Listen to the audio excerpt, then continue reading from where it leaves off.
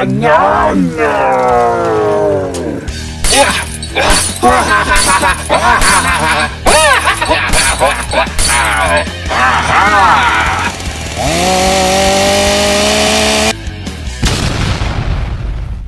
BT broadband sale is now on, and with fibre optic BT Infinity at £7.50 a month for the first six months, why wait?